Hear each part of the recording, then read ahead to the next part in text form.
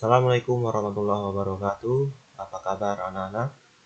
Berjumpa lagi dengan Bapak dengan video tutorial yaitu materi pembelajaran PKWU kelas 10 aspek kerajinan tentang objek atau artefak budaya lokal.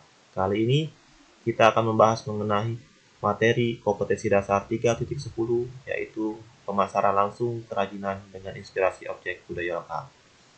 Baik, untuk anak-anak yang mempunyai buku paket, silakan buka halaman 24. Baik, untuk berikutnya silakan simak video atau slide yang Bapak tampilkan mengenai pemasaran langsung.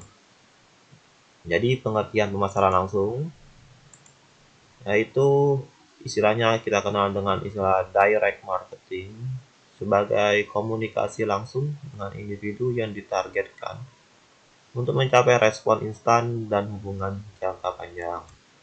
Secara sederhana, metode untuk menjangkau pelanggan secara langsung.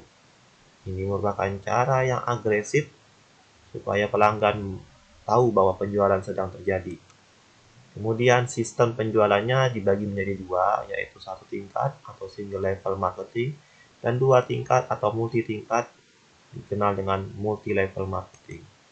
Kemudian produk ini harus wajib memiliki surat izin usaha yang dikeluarkan oleh BKPM sesuai dengan peraturan Menteri Perdagangan nomor 32 tahun 2008. Kemudian tujuan dari pemasaran langsung Pertama, ditujukan untuk segmen pelanggan tertentu dan berfungsi untuk memujuk pelanggan agar membeli.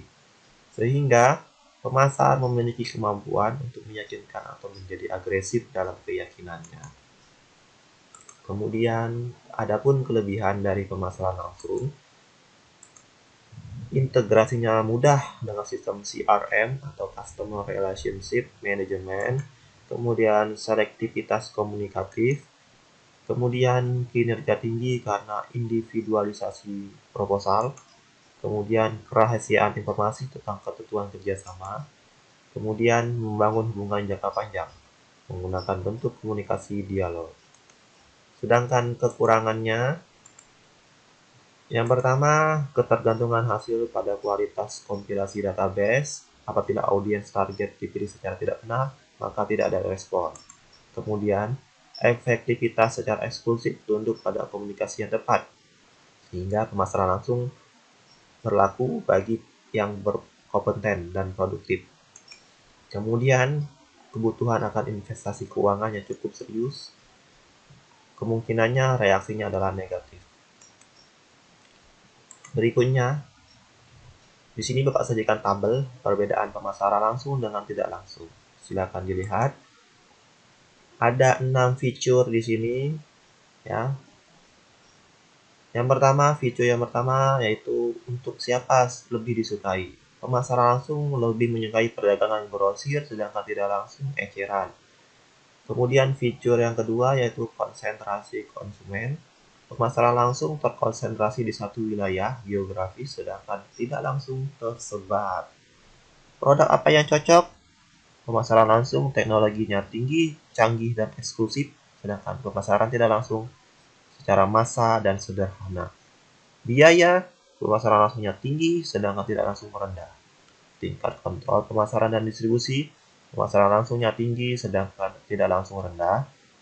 Dan terakhir, hubungan pelanggan pemasaran langsung tertutup dan tidak langsung sangat lemah.